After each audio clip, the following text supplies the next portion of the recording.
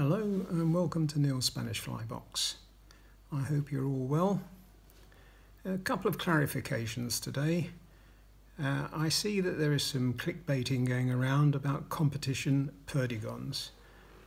Perdigons can go into any competition providing that they are within the rules and that is any perdigon. Also, as far as I'm aware, there is no perdigon that is specifically designed just for competitions. There may be individual tweaks to certain perdigons, but there, nothing, there is nothing designed specifically for competitions. Secondly, I was chastised by a Spanish viewer who uh, chastised me for using the expression coq de lion, saying that it was French and not Spanish, and in Spanish it is gallo de lion. What I'm actually doing is translating from the word gallo into coq, which is short for cockerel, and therefore calling it coq de lion. Now, uh, it's possible, of course, to call it a rooster de lion, but uh, I don't think it flows quite the same. So I hope that clears up that it, the coq de lion is C-O-C-K, short for cockerel. Thank you. Right, today's tying is an ostrich caddis nymph. Now this uh, fly is generic, it is not a specific, and I've been tying it for a few years now, and it's served well. So I'm going to share it with you. There are quite a few uh, materials involved, so I'll go through them as we go along. This is uh, black tying silk or thread, and it is 8.0, which I'm going to put onto this curved bend hook, and this is a size 16. I've started it um, behind the, the eye because there's quite a lot of bulk at the front of the fly and we need the space. I'm going to weight it with some uh, lead wire and this is 34 gauge. It's reasonably thin so I'm going to cut a piece off with it. Now if you're cutting lead, for goodness sake don't use the best scissors or wire or anything use uh, some old scissors to get cut through it. And I'm just going to wind this on having put down that bed of thread.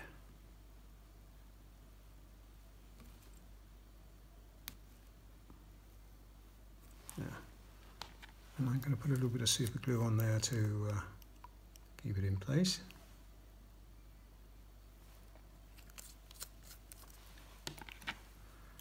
Right and tie it down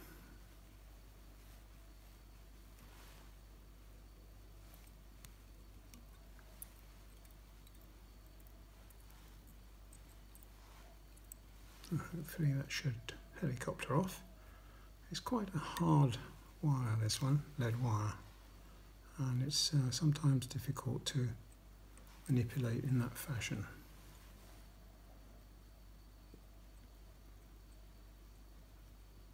As you can see, there, I've done it. So I'm just going to bind that down a little bit more and cover up that sharp piece at the end there. Right, and follow this thread down. Right now the rib is going to be um, stripped peacock herl. And these are some that I've stripped myself and uh, they're not dyed at all, they're just plain peacock herl. And although fibres are generally quite fragile, they're easy to break. When I do my own, I uh, let me just tie this in when I do my own, when I've finished doing the dyeing and stripping, I use some of my wife's hair conditioner to uh, make them soft and therefore less likely to break. Just tie that on. Now, as suggested, the main uh, part of the body is ostrich herl. Now this is grey ostrich, ostrich herl and I'm going to take off two herls, and that's what we're going to wind on. Try and get them to the same length. Just trim up the ends and tie them in. It doesn't matter if you have any ends over because that'll all be covered up in a minute anyway. Show you how and why.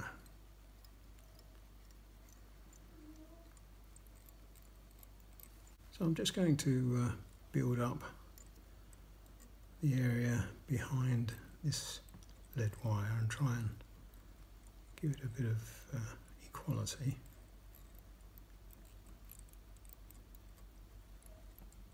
As it's wound up.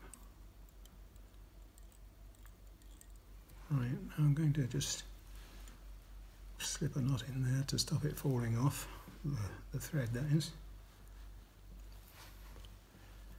Right, and I'm going to wind on the ostrich herl. And the point of the ostrich herl is that it is supposed to represent breathers uh, of the on the nymph.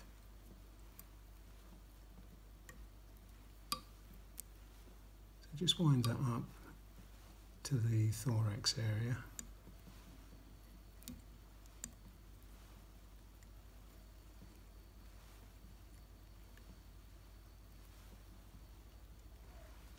I'll tie that off.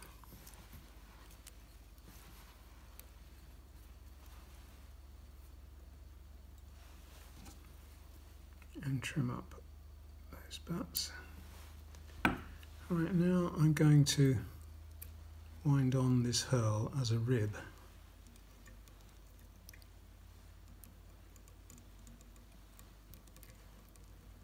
And we're going to brush out this herl after we've finished winding this rib on.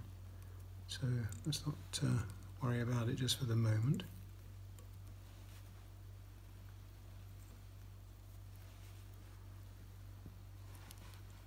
Right, tie that off as well.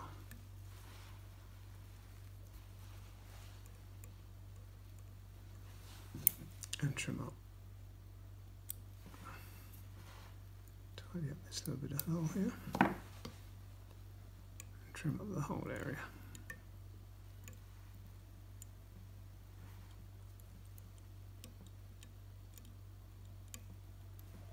I'm just going to move the hook again in the vise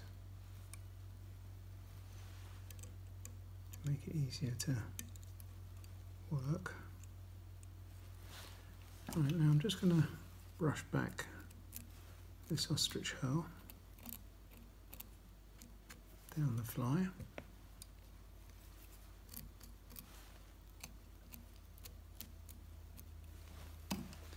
At this stage it all looks a bit uh, bulky at the back but uh, it will all flatten down when it gets wet. Now for the thorax cover I'm going to use some cock pheasant tail. Uh, I'm going to cut off some fibres here probably going to need maybe 10 or 12 fibres.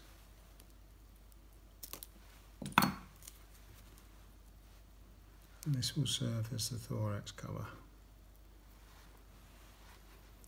Just tie that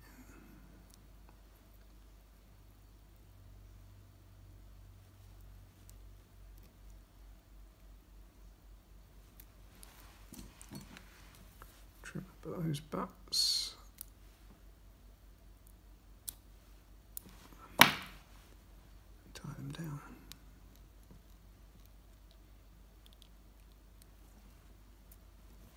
Right, now for the thorax, I'm going to use some spectra dubbing. This is uh, number 45 and it is uh, bronze peacock.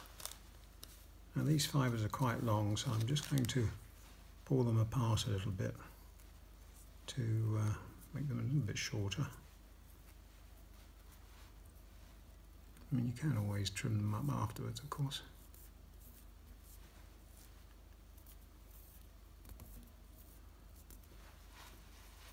Wind this on, Let's see how get on.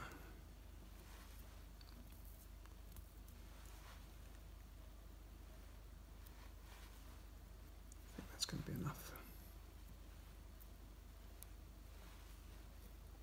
Excess.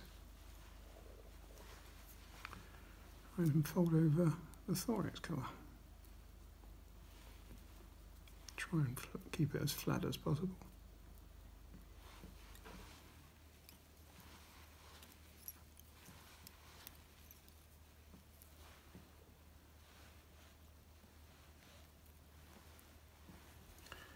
and trim it off.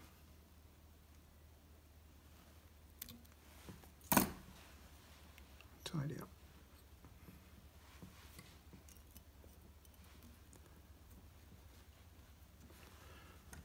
And tie off the fly.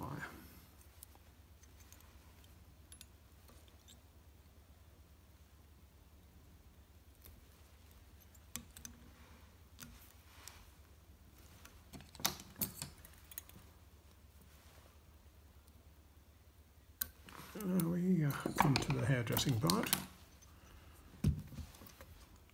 We just brush this down. Brush this back. And trim up underneath.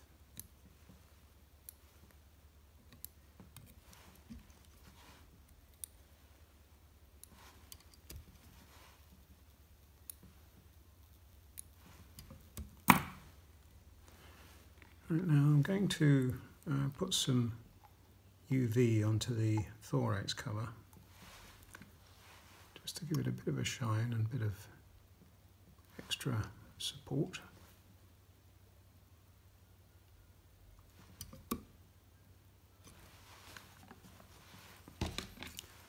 Give it a zap.